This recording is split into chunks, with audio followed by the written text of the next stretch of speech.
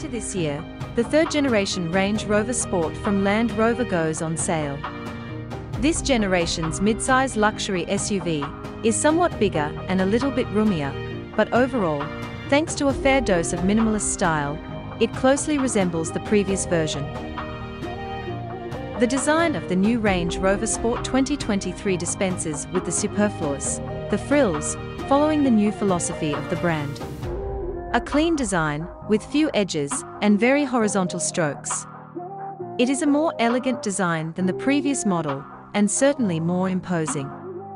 Awesome is perhaps the word that best describes the first impression the 2023 Range Rover Sport makes. With 4.95 meters in length and a wheelbase of 3 meters, the front and rear overhangs are very short. Having the side skirts painted in body color adds to the feeling of being a lower car. Although it's not very low, it's 1.82 meters tall. Inside, at first glance it may seem almost identical to the Range Rover, but there are some differences. On Range Rover Sport, the steering wheel has three spokes and the center console is floating and has a curved design. In the range it is straight and it is not floating. As in its big brother, the floor of the cabin is completely flat, which gives us a clue about the future. The MLA platform is ready to make an electric Range Rover Sport, which will arrive in 2024.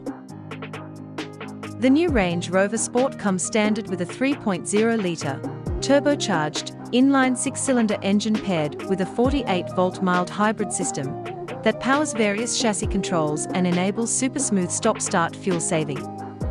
The 2023 Land Rover Range Rover Sport starts at $84,475. The more powerful is a bit more expensive at $91,475 An autobiography trim standard features bumps the sticker price to $105,600.